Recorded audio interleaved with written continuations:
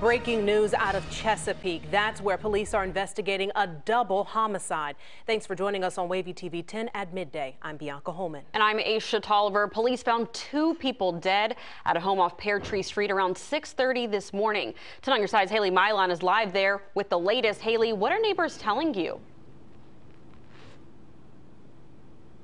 Well, Aisha, Bianca, I'll start with what police have confirmed to us. Two people are dead. This is being investigated as a homicide. They do have a person of interest in custody. Let me step away. Crime scene still very active here on Peartree Drive. You can see the forensic unit truck there, a police officer standing in front of it as they continue to investigate. Now, a man who lives across the street from that home tells me two teens came to his home early in the morning saying their parents are dead and they didn't know where their brother was. He says minutes later, the police arrived. Now, the police did not confirm that to me. That's just what the neighbor told me.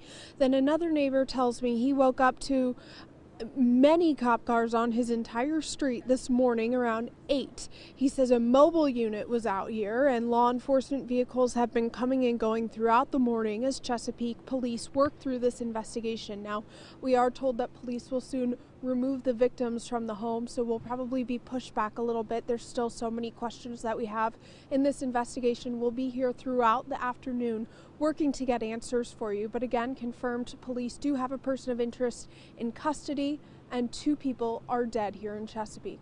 For now, live in Chesapeake, Haley Mylon 10 on your side. All right, thanks, Haley.